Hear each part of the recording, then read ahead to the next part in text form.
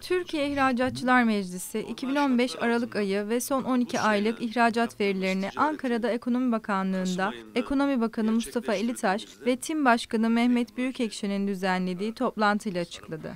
Tim verilerine göre Aralık ayında ihracat önceki yılın aynı dönemine göre %12 düşüşle 11 milyar 535 milyon dolar olarak gerçekleşti.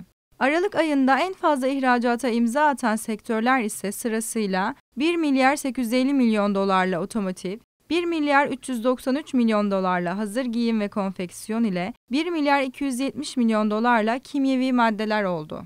Yine aynı dönemde en fazla ihracat yapılan ilk 5 ülke sırasıyla Almanya, İngiltere, İtalya, Amerika Birleşik Devletleri ve Fransa oldu.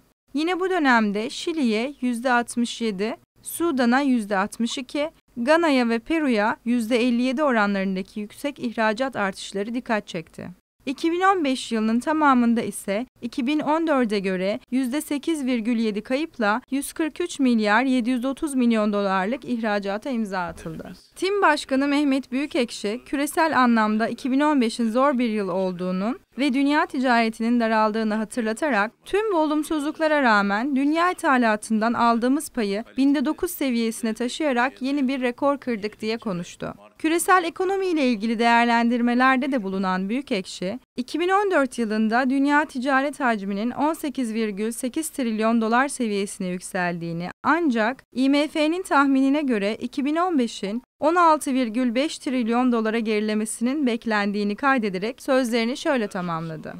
2015 bizler için de hayli zor bir yıl olarak geçti. Ancak şunu ifade etmekten son derece memnunum ki 2015 yılında dünyada ve özellikle yakın çevremizde yaşanan birçok soruna rağmen ihracatımızın azalmasını başarısızlık olarak değerlendirmemiz mümkün değil. Diğer yandan 2015'te birçok sektörün ihracatında düşüş yaşanırken fındık ve mamulleri sektörü %22,5 yükselişle 2 milyar 834 milyon, savunma ve havacılık sanayide %0,5 büyümeyle 1 milyar 656 milyon dolarlık ihracat rakamıyla dikkat çekti. 2015'in toplam ihracatı ise %8,7 kayıpla 143 milyar 730 milyon dolar olarak gerçekleşti.